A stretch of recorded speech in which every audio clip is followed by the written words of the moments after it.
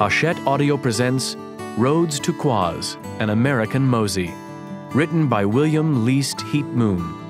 Read by Sherman Howard. By way of explanation. Upon my honor, cried Lynmere, piqued.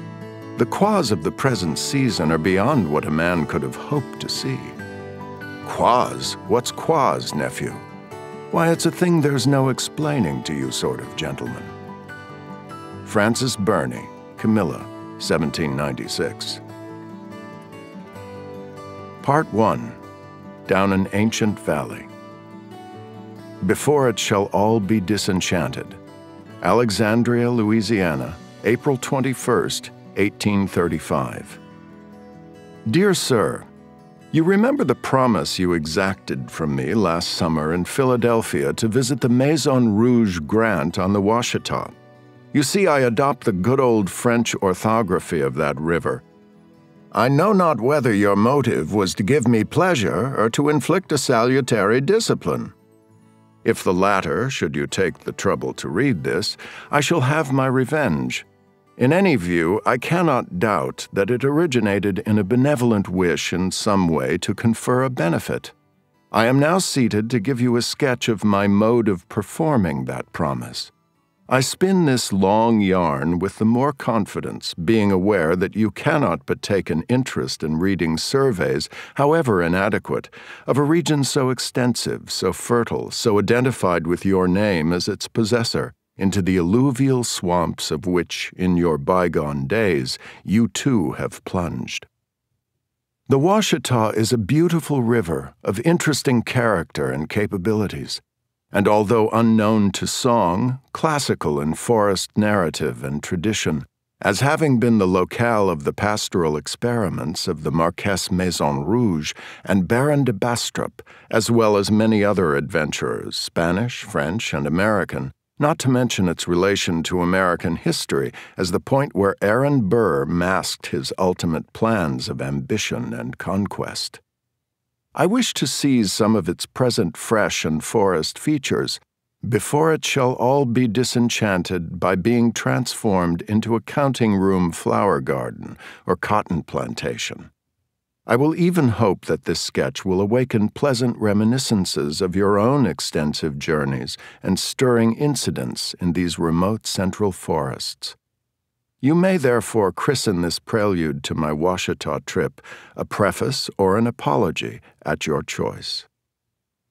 Journal of the Reverend Timothy Flint from the Red River to the Washita in Louisiana in 1835. Chapter 1 The Letter Q Embodied.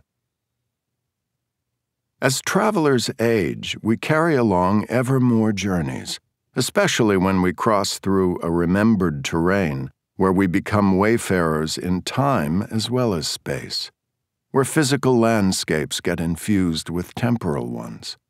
We roll along a road, into a town, past a cafe, a hotel, and we may hear stories and rising memories. Then our past is got with feet, and it comes forth. There, I met her there. Or, that's the place, that's where he told me about the accident. Since each day lived gets subtracted from our allotted total, recollections may be our highest recompense to live one moment a score of times. For me, having now become an elder of the road, these risings of memory from a specific topography can almost lead me to believe all previous miles have gone to create some single moment, and then I can see how meaning begins in and proceeds from memory. Back-seated children, able to find only boredom beyond car windows, if they're looking out, are nevertheless laying a foundation for meaning to arise one day when they'll need significance far more than experience. My occasional stories to Q, which some particular landscape happens to evoke, serve to pass a stretch of slow miles as the tales also fortify my memory. I think she doesn't mind my rambles now and then, perhaps because in a previous administration, an earlier marriage, she once crossed the length of Kansas in silence unless you deem as conversation that quondam husband's we gotta stop for gas. Q is my wife, Joanne, a moniker for which she's never felt much kinship.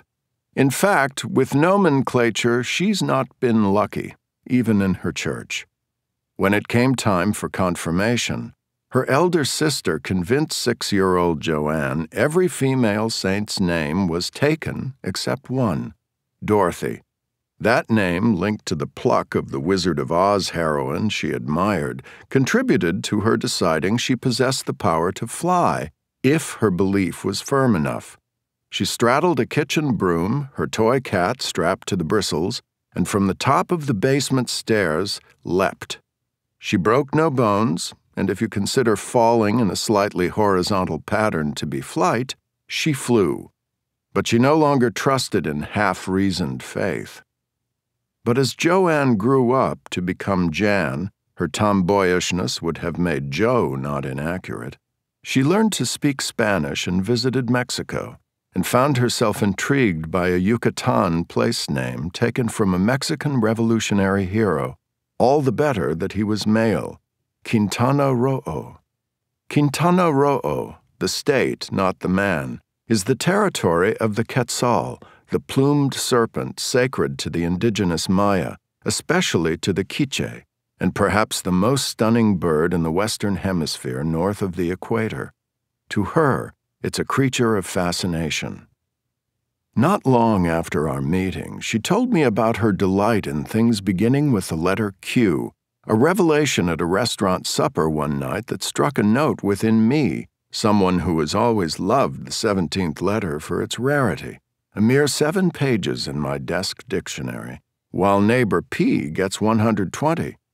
I like to think sinuous Q, only O has a more purely geometric form, makes up for its paucity in entries by its peculiarities of meanings, by its pictographic capital shape, a serpent curling out of its den, a tethered balloon floating away, a hatchling with one foot out of the egg and by its unbreakable bond with its beloved U. Of greater import are those quirky words we'd not have without Q quark, quack, quadrillion, quantum, quidnunc, quoits, quench, quisling, quilt, quipster, quince, quincunx, and that most universal non word on the planet, QWERTY. And should I not mention that recondite Christian holy day, Quinquagesima, Shrove Sunday. Is there another letter with such a high percentage of words both jolly and curious, so many having to do with quests and questions and quintessences? Is it not a letter of signal curiousness? How could a fellow of the quill not love the letter Q? How could a defender of the underdog not love a letter that's the least used on a keyboard, the one that never takes on fingershine. Nonetheless, Q, alphabetically superfluous, has tricks. For the tongue, there's quick and quiche. For meaning, there's queer and queen. And there's quell, put down, and quell, well up. And to enhance its mystery, Q has a dark side, words to give you qualms. Queasy, quagmire, quarantine, quarrel, quibble, quinsy, quash, quackery, quietus, quake, quicksand, quadratic equation. It's a letter that has suffered loss, thinning our language as we went about minding our P's while forgetting our Q's. If Shakespeare possessed those lost words, why can't we?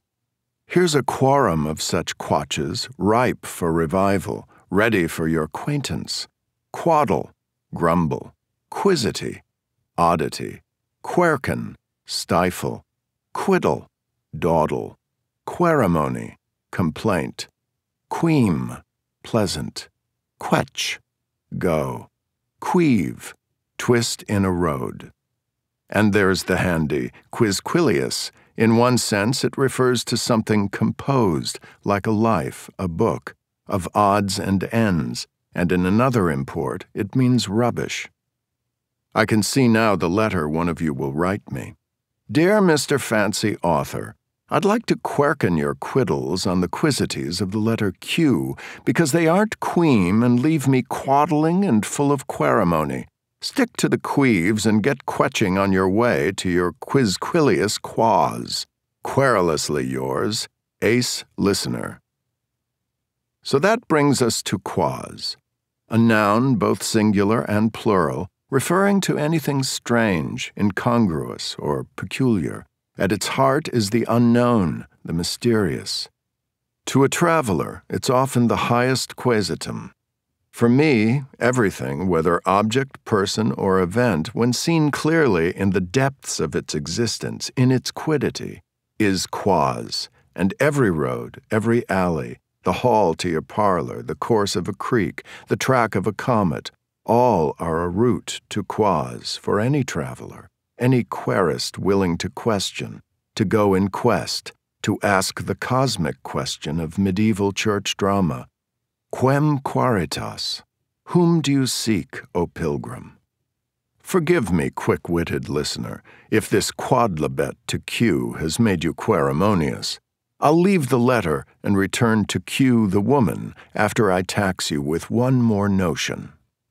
The vocabulary of our language is an abundant and often untapped storehouse of concepts neatly embodied in a few squiggles of ink or in a column of air vibrated by vocal cords. To fail to embrace and thereby honor a rich vocabulary is a sacrilege advocated by those who would reduce the expanse of our lexicon to fit their own limited expression. These are often novices and drudges and certain book reviewers who ought to be confined to the exposition of instructions for installing a water heater. A genuine road book should open unknown realms in its words as it does in its miles. If you leave a journey exactly who you were before you departed, the trip has been much wasted, even if it's just to the Quickie Mart. During that restaurant supper, I admitted to Q, call it a quid pro quo, that since my boyhood, when my favorite number was five, I could handle it mathematically easier than, say, seven or nine. I've longed to be not William, but five lettered Quint its Roman version, Quintus, helped lead me in high school to enroll in Miss Nell Adams' Latin 1 and 2. How different my life might have turned out with Spanish or French, I don't know, other than to say that somewhere among the ancient declensions of Rome and the Etruscan QU words, I was becharmed by a girl seated in front of me, and for the next five years I discovered all that goes with infatuation. So you see, the letter Q has shaped me in ways beyond my comprehending, even now. As I... We hope you enjoyed this preview. To continue listening to this audiobook on Google Play Books, use the link in the video description.